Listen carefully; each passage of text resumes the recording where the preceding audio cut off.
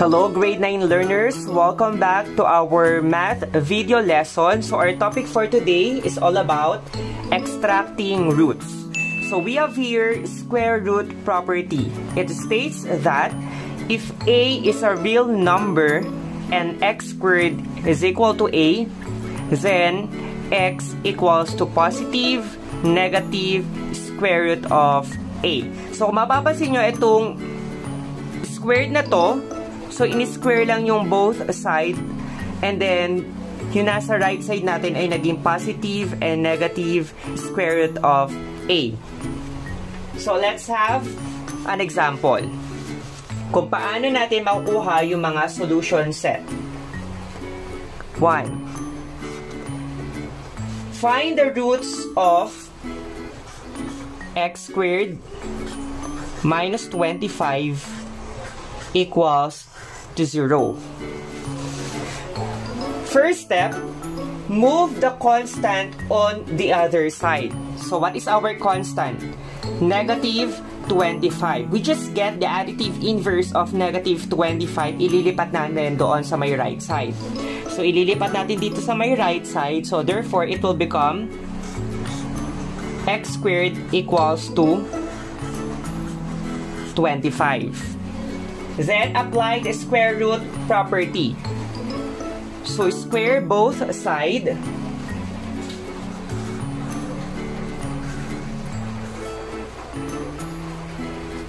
Then, x equals what is the square root of 25? By the way, it is very important that you already know the perfect square numbers. Yung 1 squared equals to 1, 2 squared equals to 4, 3 squared equals to 9. So when we say square root, ang kanyang factors ay dalawang numbers na magkatulad. Just like square root of 25 which is positive and negative 5. Then, what will be our solution set? So our solution set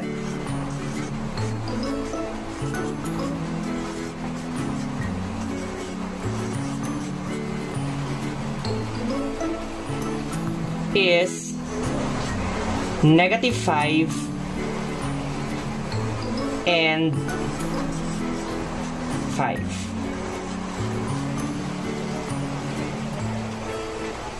Let's have another example. 2. Find the solution of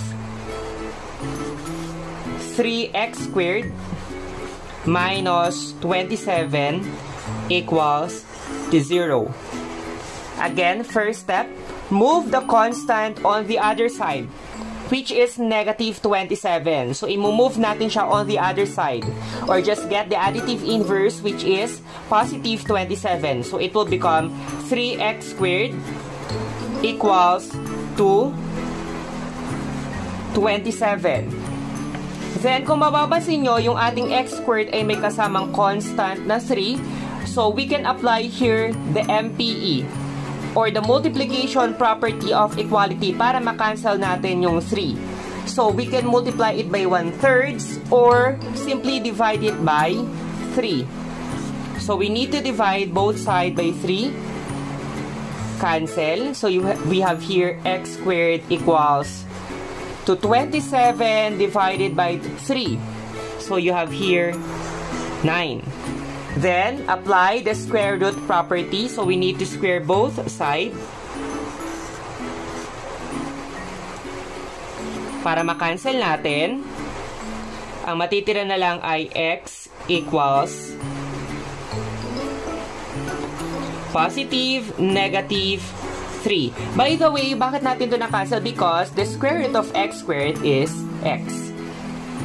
So, probably our solution set here is positive and negative 3. So, hindi ko na isusulat yung salitang solution set, but probably we have positive 3 and negative 3. So, let's have our third example.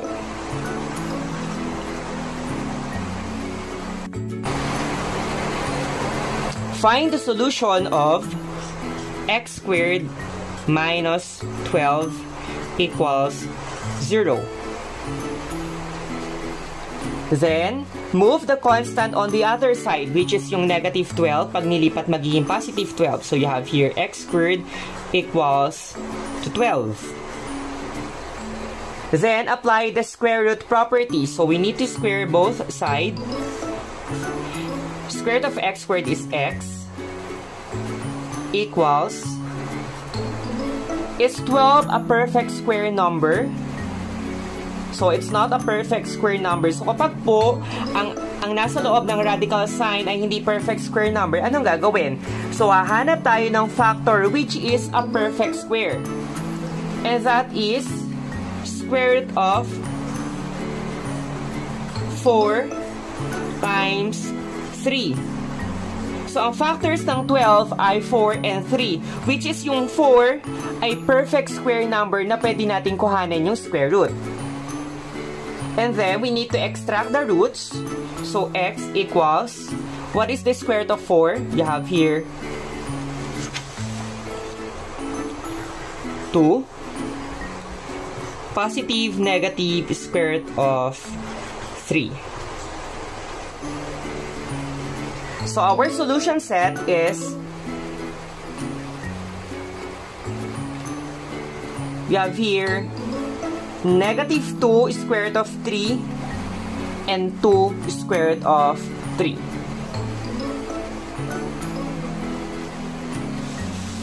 Okay, so let's have our last example. For our example 4, x squared plus 1 equals to 0. Again, move the constant on the other side which is positive 1. So it will become x squared equals negative 1. Then applying the square root property. So we need to square both sides. So x